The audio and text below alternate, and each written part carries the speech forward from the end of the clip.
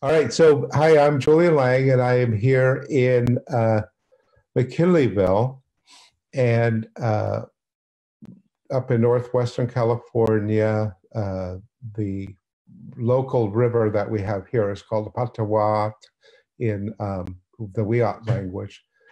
This is the upper end of the Wiyot territory, and then there's a Wiyot, which is the the the, the uh, Humboldt Bay, and then uh, uh not Wiyot, no, Wiki is the is the Humboldt Bay, and Wiyot is the Eel River.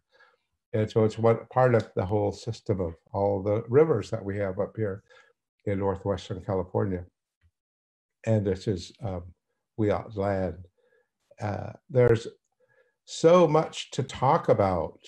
What, where could we possibly begin?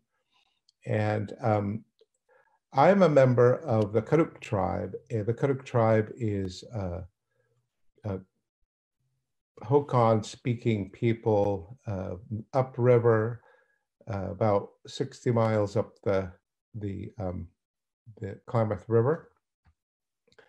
Our boundary is at Bluff Creek.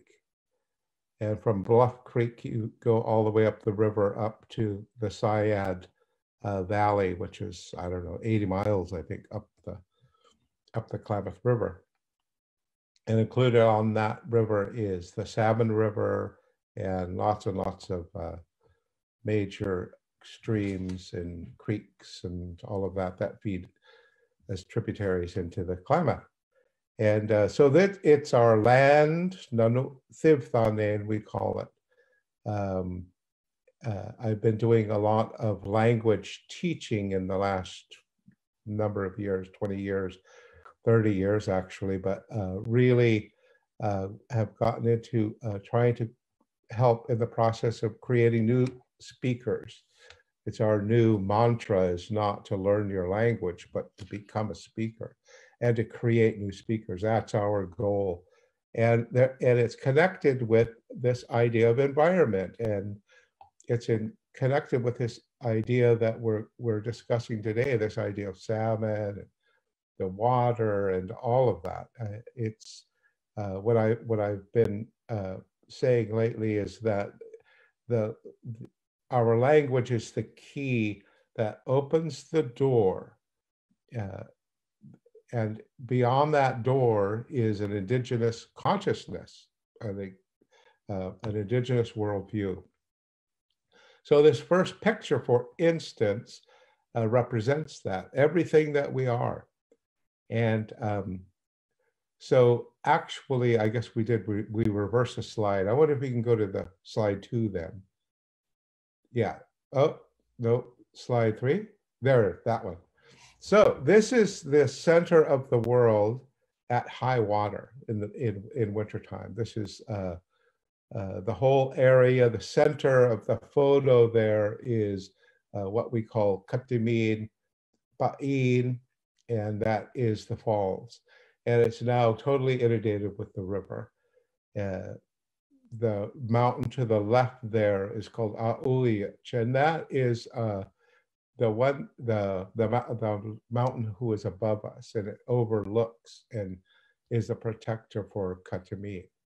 And we say that that person was uh, once a man.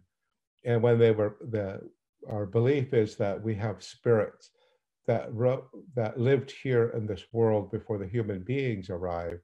And that that person decided to become this mountain rather than leave the, the earth and go across the ocean, this land, and go across the ocean to um, to the spirit world, we call it.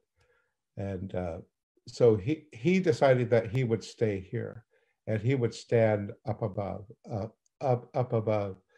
And then he decided, well, what will the human beings do?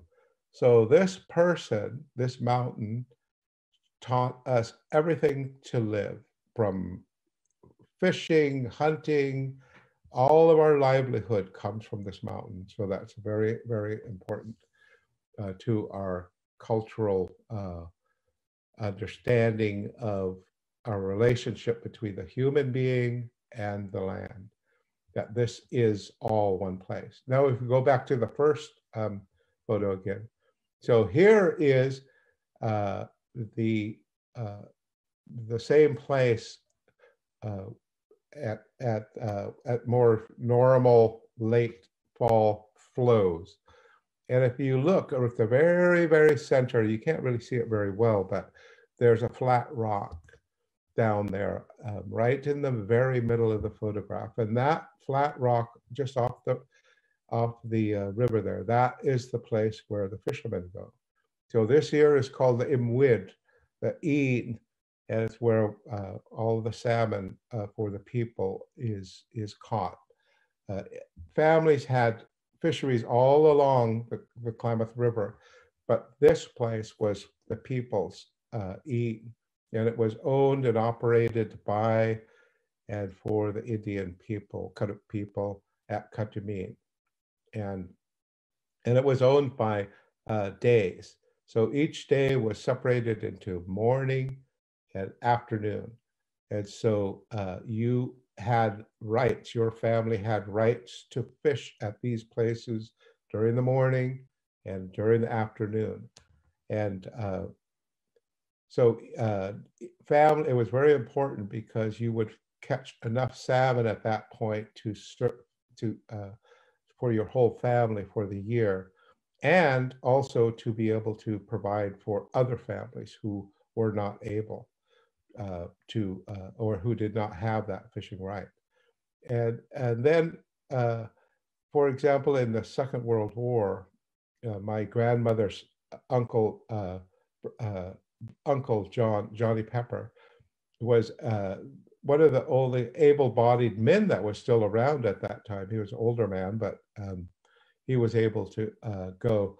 So he inherited all of these fishing rights uh, for these days. So every family, they would say, "This is you. You fish for me. I have these this this these times," and they would go down and fish for the people. And uh, then the fishermen would would uh, divvy up the fish to the uh, to the uh, fish owner, the fish day owner. We call them fish days. And so there's a very very important place. Okay, now we can go to that the next uh, slide. Yeah. This is the downriver edge. This is Asanam Karak. Um, this is Utimin. So the downriver uh, falls. And this here is at Ike's Flat. It's on the left there. And on the right is Amekiadam. And Amekiadam is where we say that the salmon came from, where they, when the, when the human beings arrived, this is where salmon was, was uh, actually being uh, kept and, um, and Lyn had uh, uh, did a, a, big painting with uh, high school students, which which she'll show you later, which uh, which talks of this place and the creation story associated with it. Ame kiada means am means salmon, and ikiada means um, where it is made or the place that it is made. And so Ame Ame kiadam is uh, is uh, the site of the um, what they call the uh, mountain dance and um, uh, the jump dance uh, held a 10-day uh, world renewal ceremony. And so this is a very important place and it's all within, you know, pretty much shouting distance. Not really, but I mean, it's like within a mile of each, each, each place is located like say a mile apart. And so this is on the Klamath River, a little place called Somes Bar, very small little place. 250 people are there when everybody's home. And uh, so it's a, it's a small but very powerful place. And I think that's one of the important things that Native people can teach society is that, you know, your centers are sacred places and should only be, should not be populated by like you know, like the cities are these days. You know, these places are sacred and they need to remain natural. They they should not be converted into, you know, properties for, you know, um, with values going through the sky and all of this kind of stuff. So anyway, I just want, wanted to kind of start with those and then we can move on with our photos. uh, I wanted to show, so this is a, a photograph of, of, a, of a couple at Katimin. I, uh, this here happens to be at, um, at a place called Everillsfield, uh, which is just above Katimin. And uh, I wanted to show it because it kind of represents the first human, the first, uh, the first human being, the first couple, and how human beings came into this world. That they came in with the idea that uh, they were agreeing to live by the laws that were contained and passed on in these things called our stories, our creation stories, Pikwa. The Pikwa are in that contains everything that we need. The Pikwa uh, are very are the stories, and then associated with that is the anab or the medicine formula that is also a basis. So the Pikwa tells us the story of how it all happened, but then the um, the Ana tells us how it was used and how to harness the power of um, the Ikare that is being talked about in that Pikwa. So they had a process. So they were able to say, this is their story.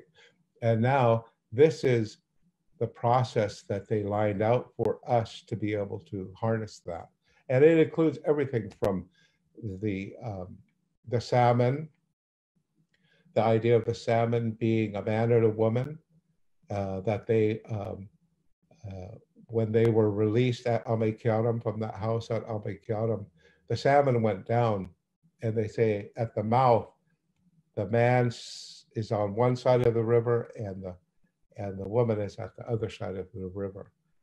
And that uh, the man is kind of more in vigil, in vigil kind of ho uh, holding, uh, protecting, and the, the woman is the one who calls them in. So during the Sabbath runs, that this is the one that says, okay, now, and then they come and they the runs begin. And that's where all the anadromous uh, fish on the Klamath.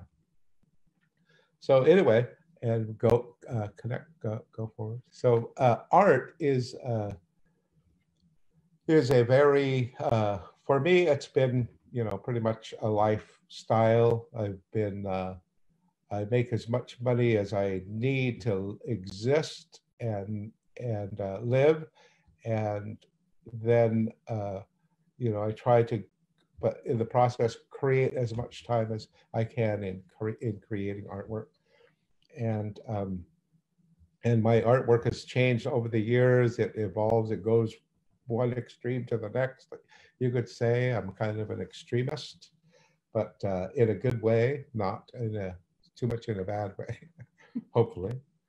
And uh,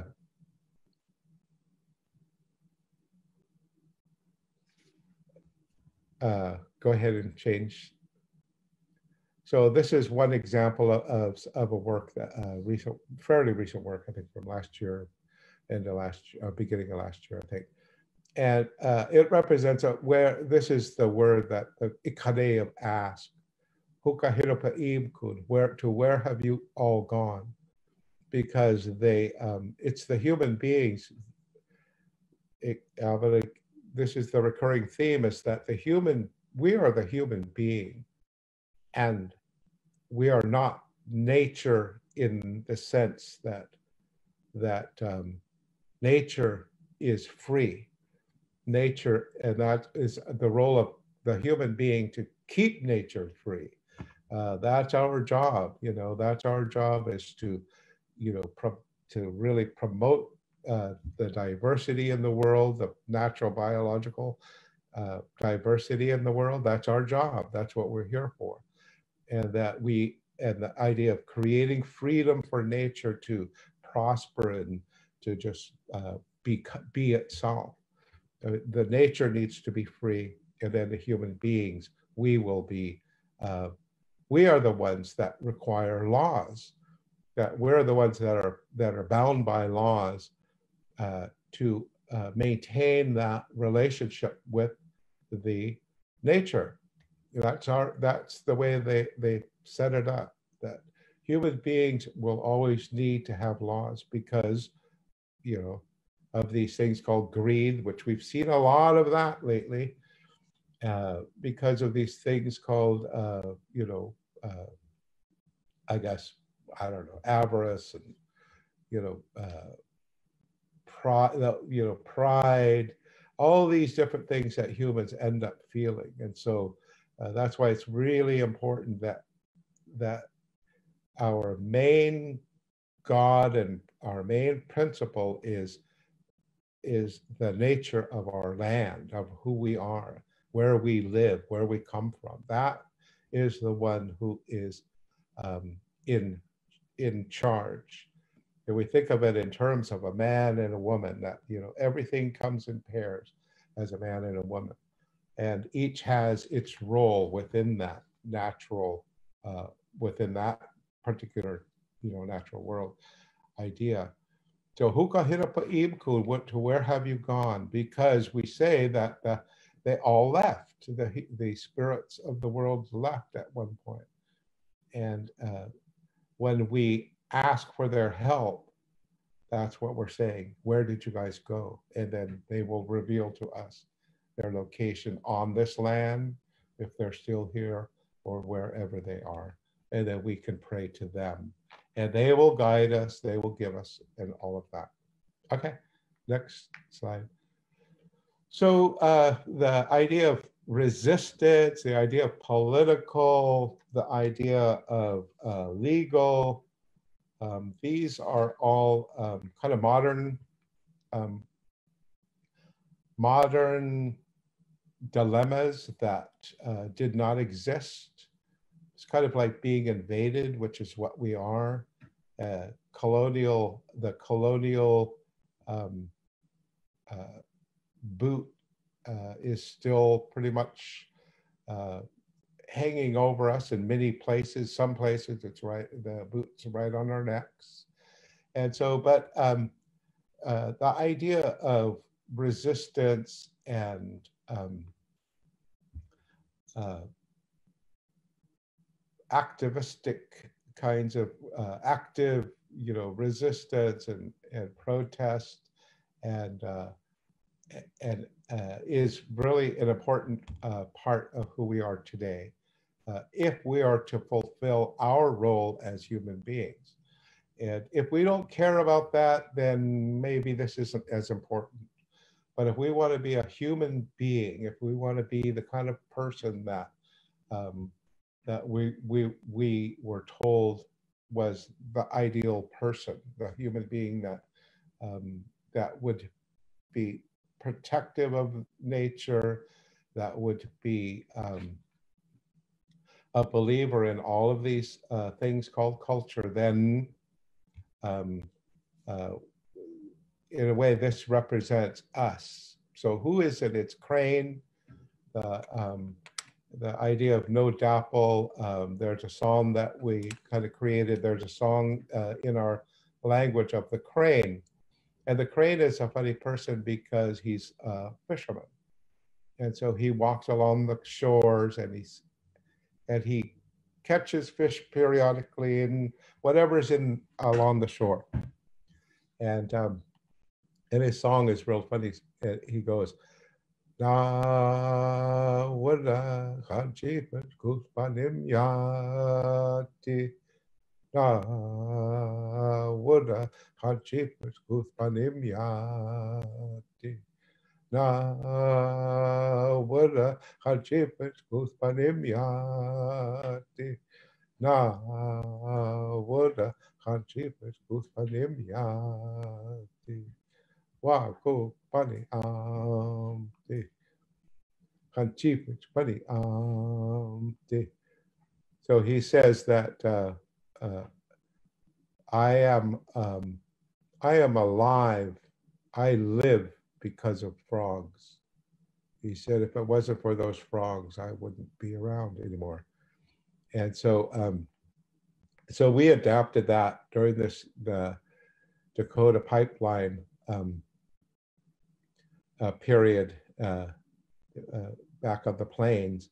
What's that been? Almost two years ago by now. And uh, recent, you know, uh, they finally got shut down, and they said so. It's been really great. So Crane's a pretty powerful person. If if we think about it, that, you know, because we adapted his song and we said, uh, Ishaha kus panimyati. It's because of water that I am alive as a human being. So we were able to kind of take that um, traditional song and uh, and be, create a new way of looking at um, at our uh, our activism. That we're just being ourselves. We're not trying to be anybody else. You know, we're not trying to be uh, leaders of this and that. You know, we're going to be home. I mean, we're going to we're home bodies. Uh, if you think about it, I, in Northwestern California, I think we're all pretty much home bodies, and that's you know the, the way we are. So uh, next slide. Hopefully, I'm not gone too far over time. Uh, this here is another painting that I uh, recently did. Um, uh, it represents, um, it was a steelhead, uh, uh, a call for art to uh, create steelhead, something representing steelhead. So, you know, as I was thinking, um, I have a, a, my painting process is to just bomb a canvas with color, could be one color, couple of colors, uh, and just kind of smoosh it all uh, all around and then stand back and look and see what story is in there that's trying to come out.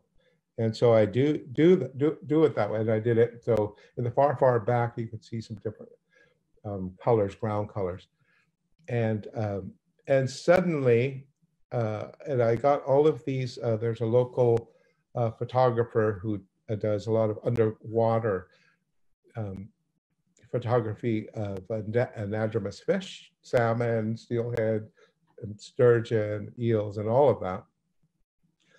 And um, so I was watching those and, you know, and I was just having a really hard time. How do you be so literal, you know, uh, preserving, protecting the water and the land and all that? How can you be so literal? I have a hard time doing that. Some people are really graphically strong, like Lyn, you'll find out later. Uh, uh, she's able to take a lot of different ideas like that and combine them in, in, a, in a really clear graphic way. I tend to kind of, I, I tend to think, I don't know how I think, really, to be honest. And, uh, but, so this is what happens. So um, the, the steelhead and salmon have this kind of, a, it's a really light red line along the length of their body. So the first thing that really happened was that red circle. And so I, I just, I just did it. I had no clue what I was doing. So, and I went, oh, that is the sign. That's just, uh, that's that line on the side of the fish. And, um, and it's kind of that, that color. And so based on that, everything just kind of came together and it just within, you know, a day or two, it was done and it co combines all of those things the depth of the water the the flow the the interconnectedness and all of that. And so anyway that's kind of uh, was my submission for that um, particular um, uh, call for art. See is there another and then finally uh, i work a lot with youth and i think that's kind of one of the um, the great things. I guess uh, you know, I said with when it comes to language, our goal is to create new speakers. And in working with youth, the goal is creating new uh, human beings. And so uh, working with youth, we've done lots of things. In fact, where Kateri had previously worked in their, um, their kind of break room, or I don't know what that room was that was off on the not on the side you were on, but on the other side, the long room there, conference room of some sort. Anyway, we would go in there and we used to do uh, youth programs for years. And uh, one of the things we would do is periodically is pull out a big piece of, of uh, canvas and then create this, um, create these um, canvases, uh, paintings.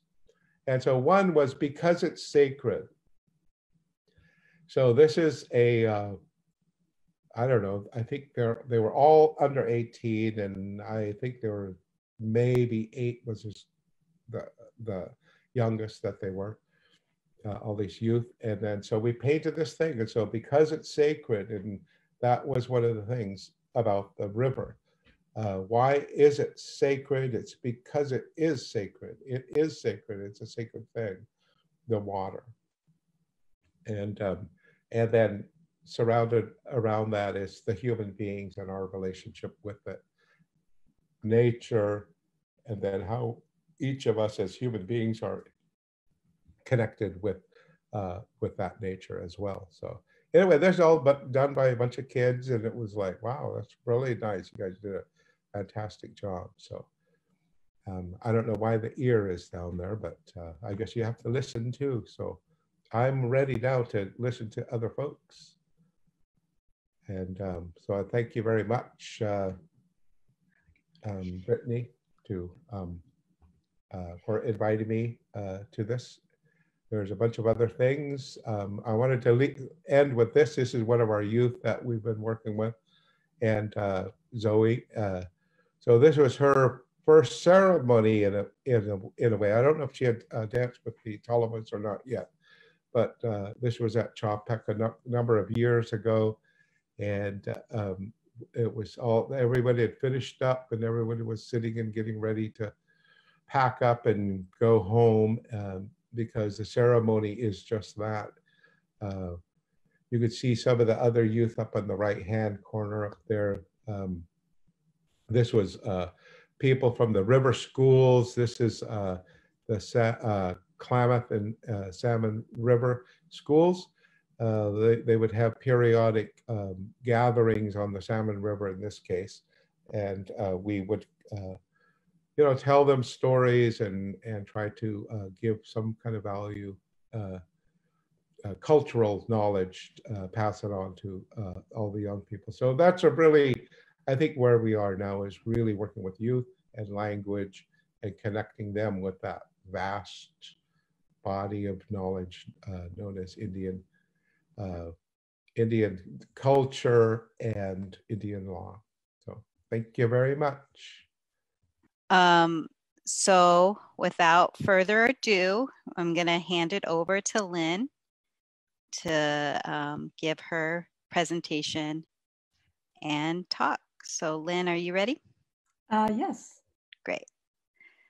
Let me be sure I get this right. Okay, there you go.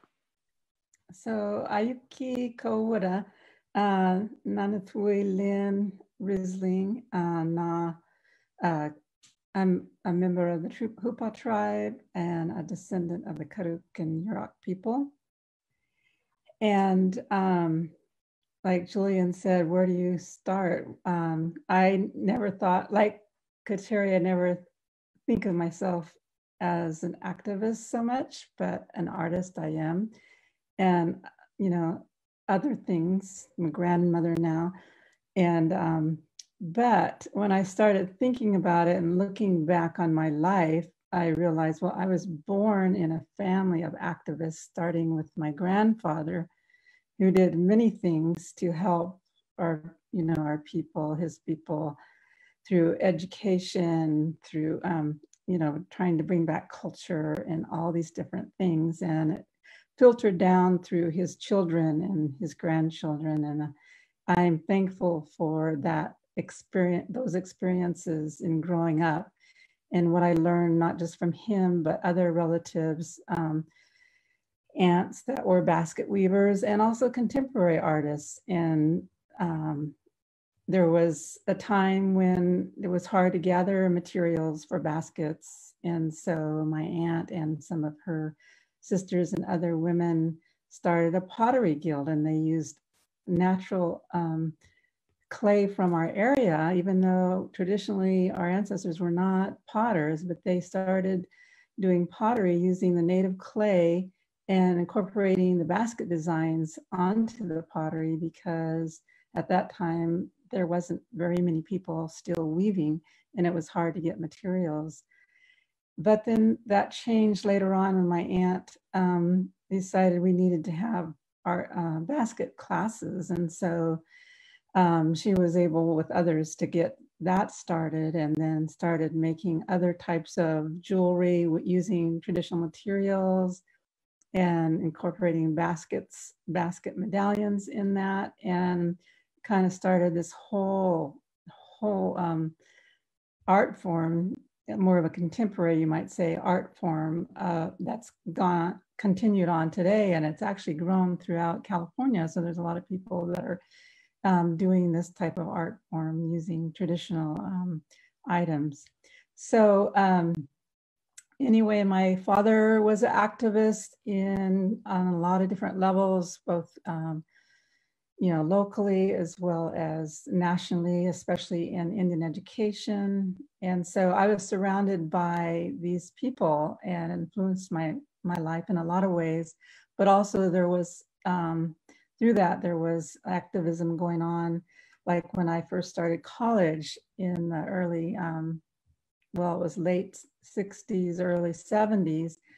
That's the time of the civil rights. And then um, a lot of other things came from that, including, um, you know, the Native people with American Indian movement and Alcatraz and many other things. And uh, my father was involved in getting a university started, uh, All Indian University at, uh, in Davis called DQU. Um, so there are many things going around uh, around me that influenced my life. But I was an artist at heart, and when I started college, I wanted to study a lot of different things. I didn't know what I wanted to do, but I ended up in art. And one of the people that uh, was an influence on me was a, a Navajo artist who was a teacher I took a, a couple classes from him, you know, and I was at that time, I was just learning a lot of different things about art, but he um, motivated me and um, inspired me to do art that was related to my own culture and my own um, Indian identity. And that's kind of where I took off as far as art um, in the direction that it has grown and become and who I am now as an artist. And um, this piece, this is moving forward, you know, many years ahead. I had an opportunity um, to teach a class at McKinleyville High with Native students through a grant through the Humboldt Area Foundation locally. And um, so I got this grant to do a collaborative piece with people in the community. And so I chose to work with these students at McKinleyville High.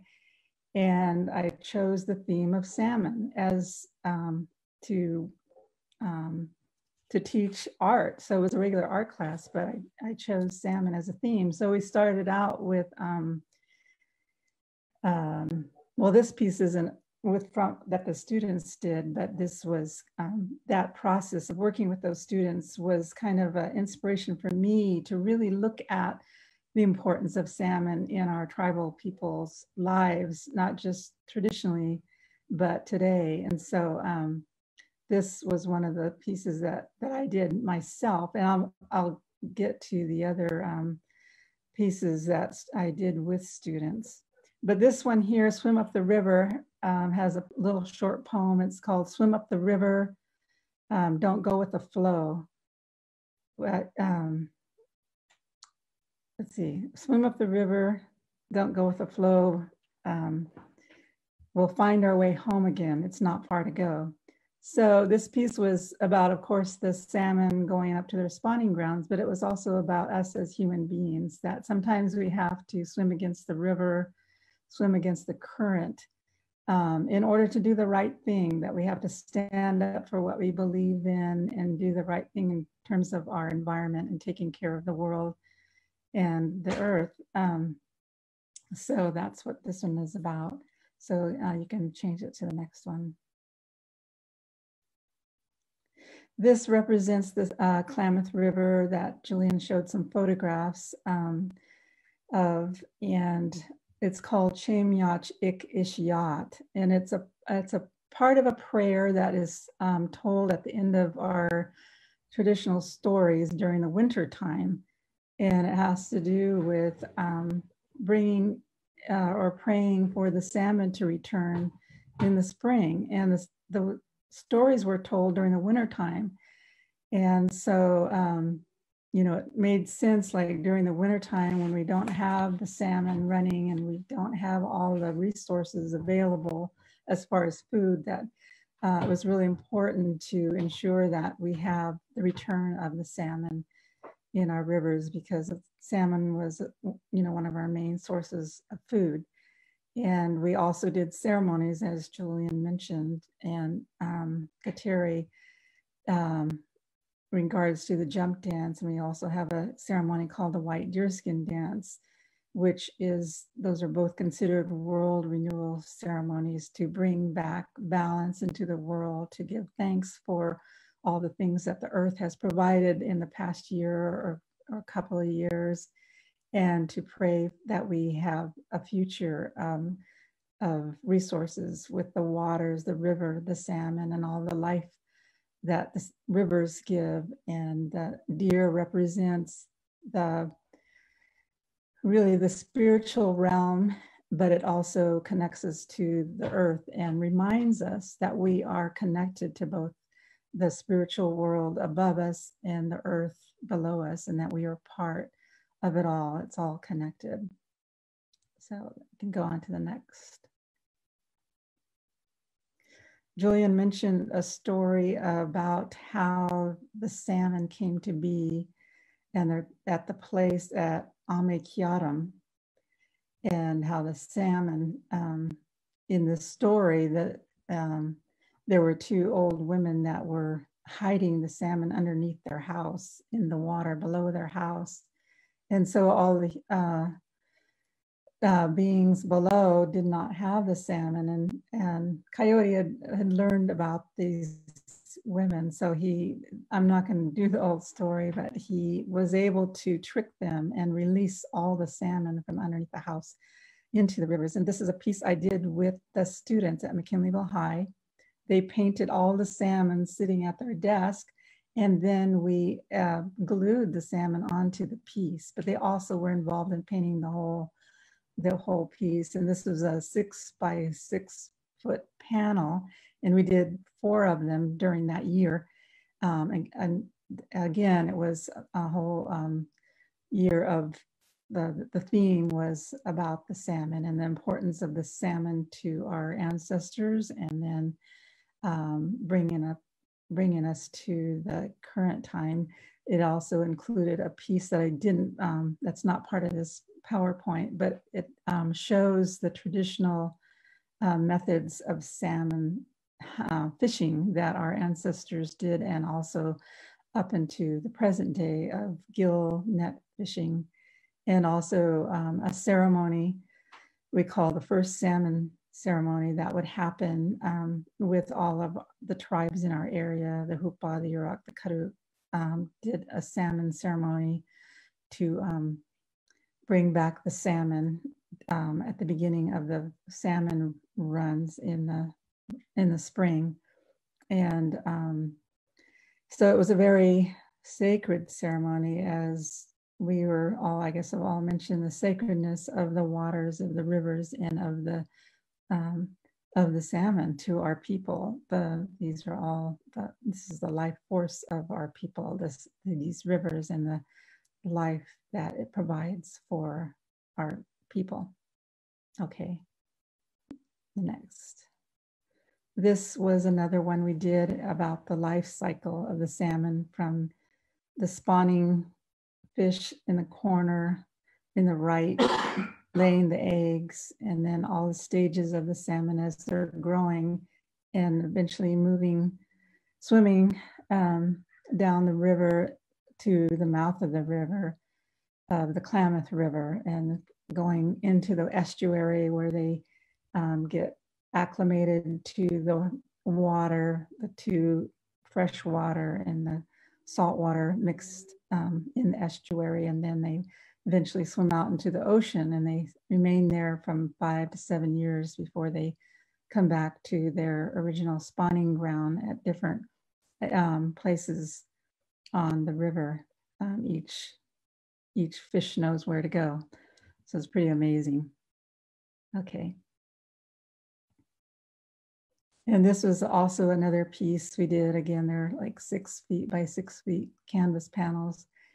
And this was um, to show what's been going on more recently concerning our salmon and the issues around the water and the dams that are on the river, Klamath River throughout the Klamath River Basin um, that goes from the Northern California up into the lower part of um, Oregon. And this was in 2006 uh, and seven. And during that time, there was um, some hearings going on regarding the removal of the dams um, on the on the Klamath River. And this, these are issues that are still going on today and haven't been totally resolved. We still have the dams and there's been um, legislation passed to remove the dams, but it takes money and it takes uh, a government um, effort as well as a lot of other people to do that. So we're still waiting for that to happen. But uh, this is a very educational moment for not only the students, but for myself. Um, a couple of students and myself went to one of the hearings and so the issues had to do with um, you know, our tribal sovereignty and fishing rights and water rights, but there we were up against um, farmers uh, in um, Oregon that are um, using the water, same water source for um, farming, um, and then the commercial fishermen. So there was different people that have a stake in this water. And during that year of 2002, there was a big fish kill that happened on the rivers, uh, on the Klamath River, um, that had to do with warm temperatures from, from drought and also this parasite that grows, um, that really grows a lot during warm, when a temperature rises. And then because of the dams, the, the low, also the low water, um, you know, levels. And so that combination created this large, large um, fish kill. And then of course, other, um, the farmers also um, wanting that water for their farming. So anyway, it was a very um, educational experience for all of us and brought awareness to us, uh, me more uh, so than I had in the past. And, uh, you know, something looking at the water and looking, you know, because I grew up with salmon like many of us did, and and you know, you kind of take it for granted that it'll always be there, but it, we can't take it for granted. Okay. This is just a, a painting I did, you know, having to do with salmon and the salmon returning to their spawning ground. Okay. This is a piece I did. Um, it has to do with the same issues around salmon and swimming against the current, like I mentioned in the other piece that I did. And in the lower right-hand corner, different kinds of industry um, that affect our environment from the oil um, extraction and industry to the uranium um, nuclear power plants and the um, dams on the on the rivers and how the the devastation, the effect it ha can have on our waters, our rivers, our salmon, and other life source um, sources that are in the rivers, and that we are connected in this way to the salmon. You know, it's kind of like they're the salmon are like the canary in the cave. You know, what happens to them affects our lives, and so in the center is the the fetus of a human being as well as the eggs of a salmon. So, you know, we're connected in this way and we one affects the other. What we do affects the the water, the health of the water,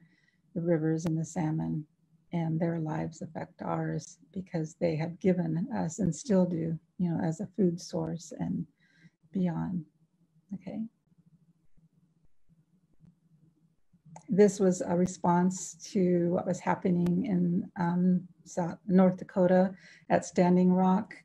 And um, that Julian had a piece that had also to do with this. But, you know, it's uh, something that affects, even though it was far away, it, it has, it affects all of us indigenous people. And it was a really good time to educate a lot of youth and tribal people from all over. There was people that went there from California and from our area, tribal people that went there to stand with the native people there. Uh, to, and to, uh, there was families that went and cooked for people and people that, you know, gave sacrifice and stayed there a long time from different tribes and different, not just tribal people, but others as well but it brought a lot of awareness. And just recently there was, um, I don't know what the, all the technical or all the details about it, but there right now that there has been a stop to that um, pipeline, tempor- at least temporarily, and as well as I think two, uh, two or three others in the United States and beyond, maybe. Um, so, um, you know, there, there's there was a huge impact um, what by those people standing up for what they believed in because it's so important to their life, the water and the effect of these pipelines on our water sources. And that's throughout the United States and Canada and probably beyond that. So it's really important to um, educate ourselves, to become aware and to um, stand up for these, the rights of the water and okay. Um, this is a piece I did for a California um, Indian conference that took place at Humboldt State University. And, um, you know, it has to do with family and, you know, our uh, ancestors. And the relationship that we have to the world around us, to our environment, to the wildlife, and to the water, and to the food sources that the earth has provided for us, and to um, that we are a living people that have a living culture that still is part of us today, that we nurture and we value as sacred and um, you know, there's many of us who are have been involved, um, like my family, for probably 45 years or so in cultural revitalization. Um, that I feel a privilege to have been a part and continue to be a part in re revitalizing our ceremonies, such as our flower dance ceremonies, which is a girls' puberty ceremony um, for our young uh, women. that um, we had, we um, were able to bring back, Julie and I were kind of instrumental in getting that started for the Karuk um, peoples. We've since 1996 when my daughter um, was coming of age and another friend of ours, Kim Moon. And we were able to, after much research and and uh, making regalia and many, many other things, um, language included um, prayers and a lot of things of trying to revitalize a ceremony that hadn't taken place for over 120 years and where we didn't have living people to be able to um, give us a map of what to follow that we had to, to um, do that on our own and we were able to do that and we are continuing to do that ceremony today and since that time um, uh, the tribes the local tribes in the area besides the Karuk, the Hupa, the Yurok, the uh, Tolowa, um, the Senangwe, that the, I want to mention that the Tolowa had theirs the same, I think the year before we did. Um, but anyway, that's been a beautiful thing, and as well as other ceremonies that continue to be um, flourish with many efforts from many people throughout the years that in bringing these ceremonies back. And it's wonderful to see young people being involved and um, people not only singing songs from our ancestors, but creating new songs and um, people like Kateria that are weavers, you know, like our ancestors that are teaching, you know, young people um, to become involved in their culture. Um, I feel that being involved in culture is a form of activism. So I say to Kateri, you're definitely an activist. And, um, you know, anyone that, you know, takes up their culture and teaching others and for our children, our grandchildren, and our future generations, you're activists. And our ancestors were activists in resisting, in, in surviving all the things they had to survive, whatever they had to do, you know. And each each generation evolves and and rises up to the whatever's going on, the changes that need to happen. Um, and part of that is culture and taking care of our environment, our waters, and we have to uh, learn our histories, know our histories, so we know what our ancestors went through, what they did, and how their spirit is what kept them going, the spirit of the land, you know, the spirit of the earth. That's where their strength comes from. And that's the strength that we have that we can continue on to um, you know, to continue with who we are and our culture. Okay. And this was a piece I did last summer. Uh, that's at Humboldt State University. It was a grant through Native American Studies. Um, Cutcha, I want to say thank you to Cutcha Risling Baldy, that she had, um, I believe she was the one that wrote the grant. And um, there's a building called the Native Forum on campus that um, was built uh, somewhat like a traditional, at least to look on the outside like a traditional house, as you can see in the picture and um, on the lower right-hand side, um, traditional native house from our area. And anyway, there's a lobby area in the back of this this building, which is a, then the forum is a gathering place where they have whole classes as well as other events, especially Native um, people coming together from not only on campus, from but from the community and beyond. And that's where the conference was held that I mentioned earlier, earlier the California Indian Conference. And anyway, in the lobby, um, they wanted to um, create a space that educates people to the people of our area um, of Northern California, who we are, and um, educate the people that are on campus, the students that are coming to campus and others. Um, and so in the middle is a, is a map of Northern California. I wanted to show some of the tribal territories, uh, traditional uh, Aboriginal territories of our peoples um, in Northern California.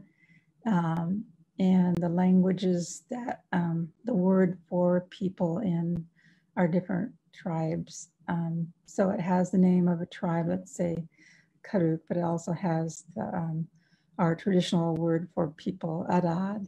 So um, I wanted to use our some of our languages to show that and then um, show how we are connected to our environment, to the mountains, the rivers, the ocean.